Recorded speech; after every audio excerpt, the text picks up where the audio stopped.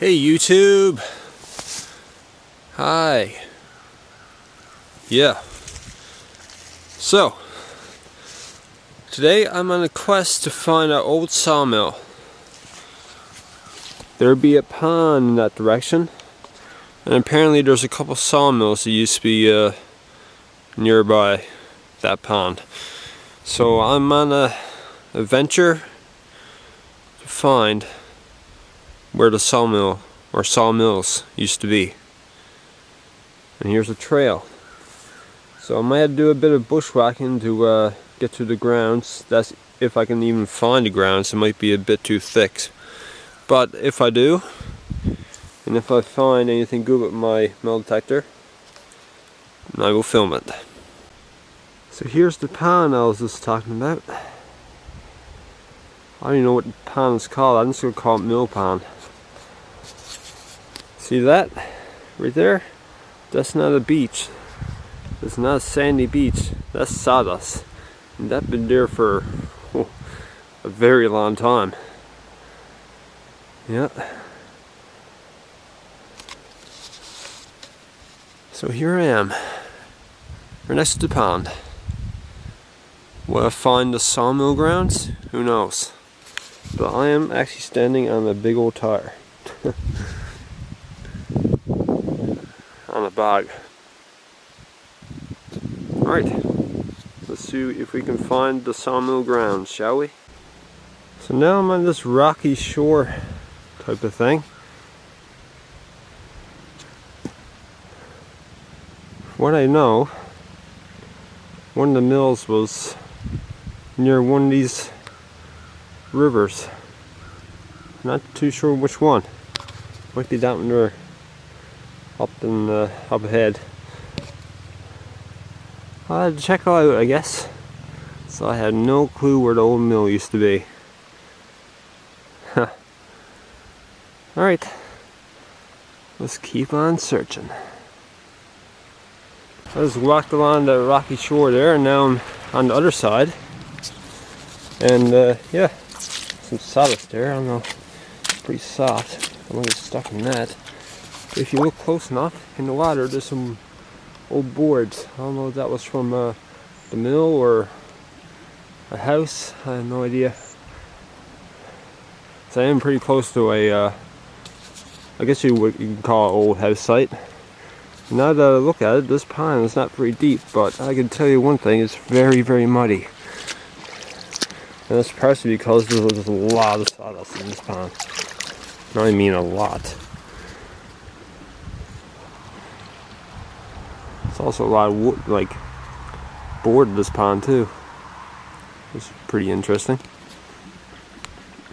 Hmm. Alright. The search continues.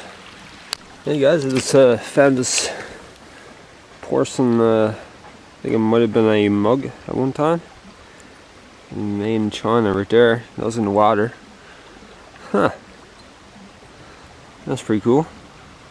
Oh, upside down. There it is, made in Japan, I mean. Nice little porcelain relic.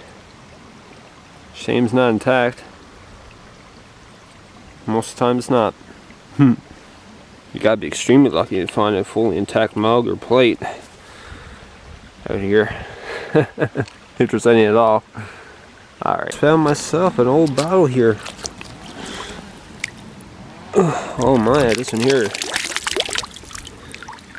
Yeah, this one here is old. Got that uh, inward uh, thing on the go on the bottom. Sweet. Look at that. never know what you're going to find when you uh, exploring.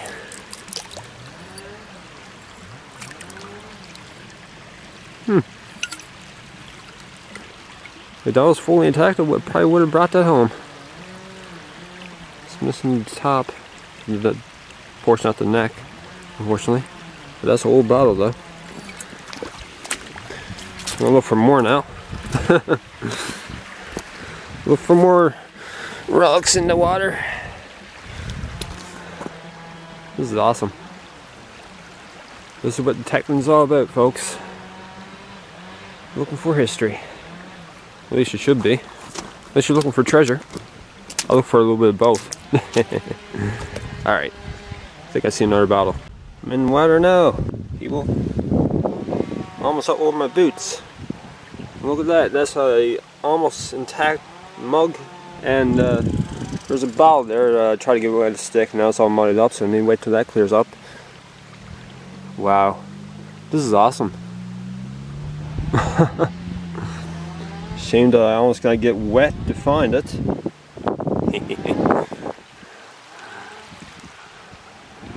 I think the mill could have been right here actually there's a lot of stuff in this water in this particular area Alright, let's, uh, let's attempt to retrieve these relics. Yeah. So I just retrieved uh, the mug. Here it is. Nice. It's almost fully intact, just missing the handle. And look at the bottom here. It says, made in occupied Japan. So what, what does that mean? Does that mean that it's made when the Americans occupied Japan? Uh, uh, shortly after the war? Or was it the pre-war, like back in the 1800s or something?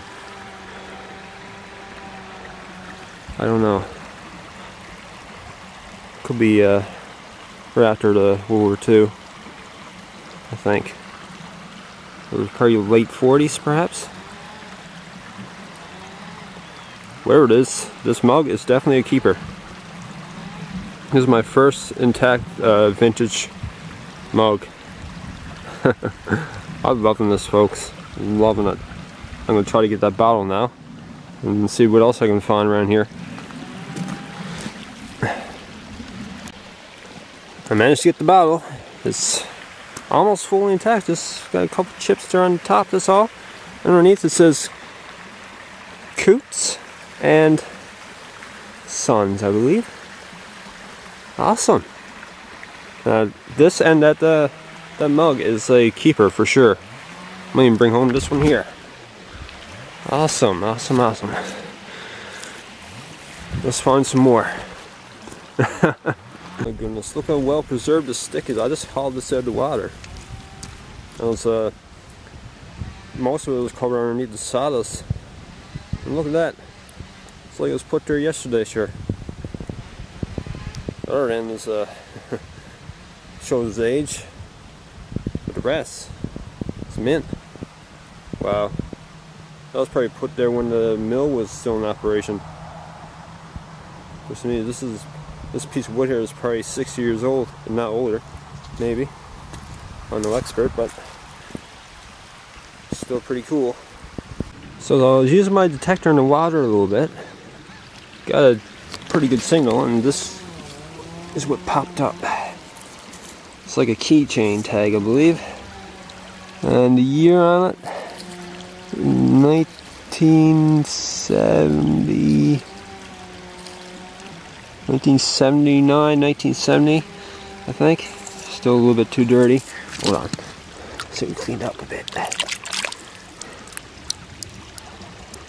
Uh, I think it's 1970. Awesome. This is deposit, deposit, any mailbox. Okay. War Amps Canada. 140 Merton Street, Toronto, Ontario.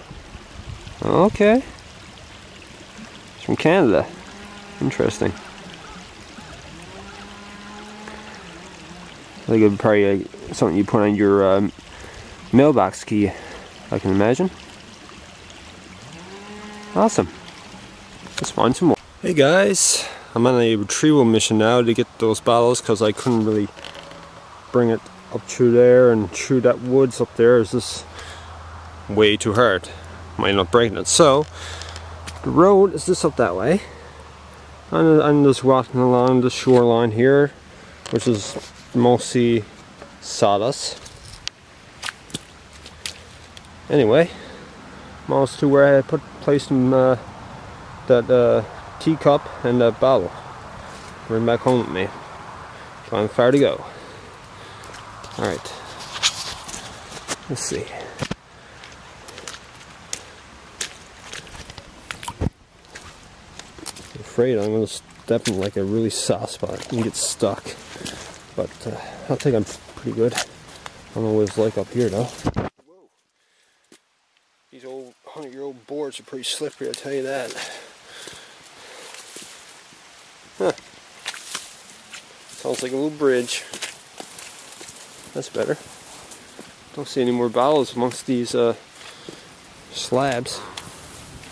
It's not as bad as I thought it would be, as I don't slip. First person. Saw the swapping. Whoa! Yeah, that's a soft spot. And there's the dirt bike. Like I said, I'm pretty close to the road. That's that mint strip uh, hauled out.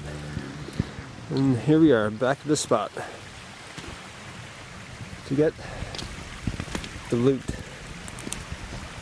So, hope you guys liked the video. If you did, hit that like button. And if you want to, you can subscribe to this wonderful channel of mine. I love subscribers. Let's try to get 1 million subscribers on this channel. anyway, and uh, don't forget to comment. Like reading your guys' comments. And I hope you guys have a great day. So, so long. Peace out. Bye.